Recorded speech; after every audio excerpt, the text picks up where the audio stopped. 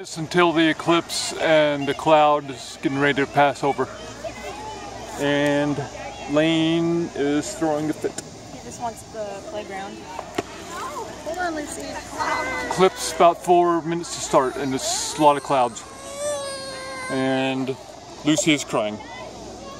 And Lucy is crying. Hang on, buddy, not yet.